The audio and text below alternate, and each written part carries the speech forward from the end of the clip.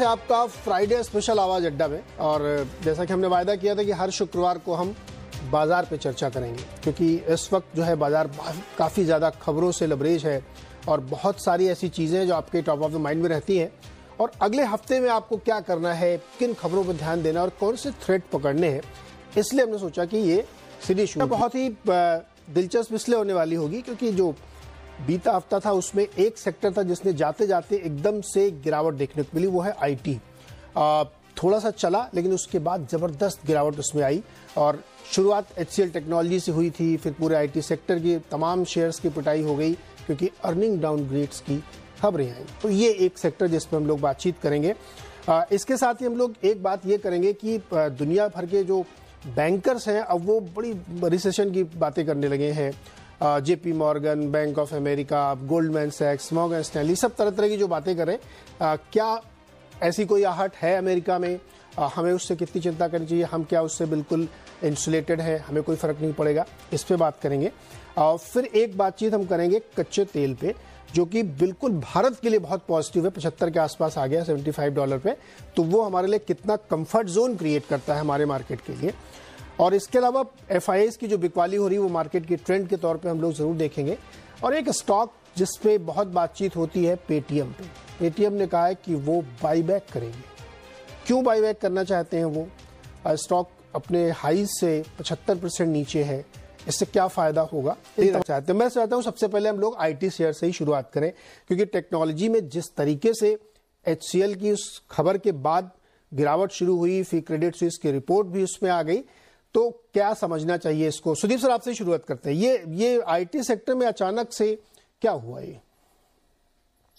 देखिए एचसीएल का एक इन्वेस्टर जो बीट चल रहा था, वहाँ पे उन्होंने, उनकी जो गाइडेंस था, उसका अपर एंड की जगह लोअर एंड के आसपास नतीजे आने का संभावना व्यक्त किया।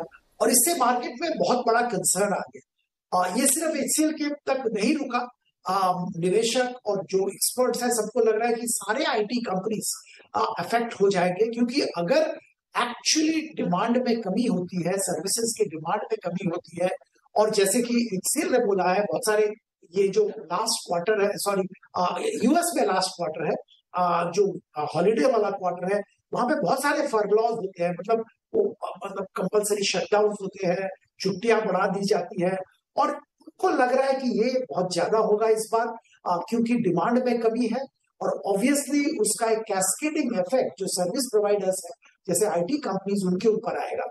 ना ऑब्वियसली अगर यूएस में ये स्थिति है तो इंडियन आईटी कंपनीज़ के लिए जिनका लगभग 50 परसेंट के आसपास अर्निंग यूएस मार्केट से आता है, बहुत बड़ी समस्या की बात है। एचसीएल तो फिर भी एचसीएल का रेवेन्यू यूरोप से भी बहुत ज़्यादा आता है। पर बाकी बहुत सारे ऐसे दिग्गज कंपनीज़ है मिड कैप कंपनीज़ है, जिनका की लगभग 50 परसेंट रेवेन्यू यूएस से आता है।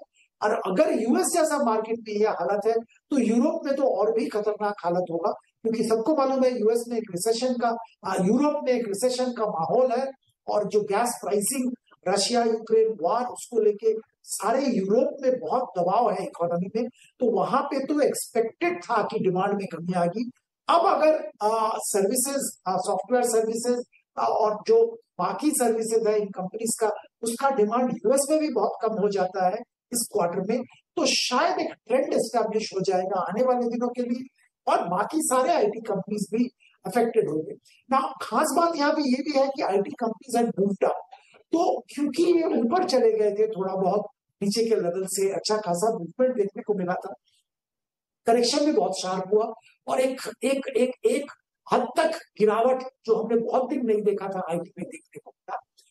अगर आप पूछेंगे कि ये शंका की बात है बहुत बड़ी तो मेरी राय तो ये होगी कि बहुत बड़ी शंका की बात नहीं है।